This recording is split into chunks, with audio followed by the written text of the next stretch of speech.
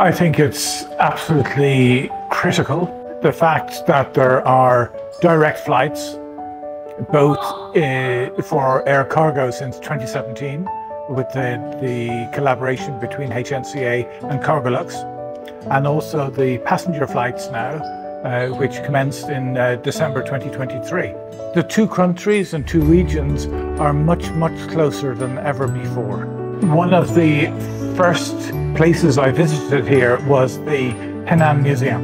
And in that, I discovered a lot about China's history, about the history of this province, and also there was a four-room exhibition on Luxembourg. So that is introducing a culture that probably nobody here knew anything about before.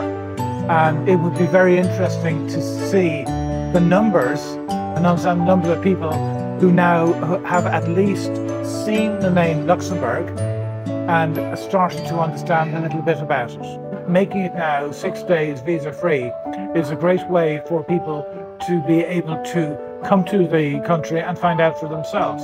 I learned that the HNCA had invested heavily into the cargo airport here, which means that the cargo Uh, that Cargolux is bringing, not only from Luxembourg, but elsewhere in Europe, into China, into Zhengzhou, uh, it would now have a cargo hub, which would then go either by rail or by the other cargo airlines that it was setting up as well to be distributed into the incredibly large Chinese market. This is the first time I've been here.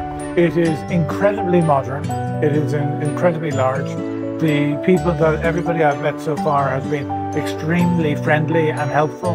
Most of the museums and everywhere I've been, uh, all the information is in English, which is uh, amazing uh, for me.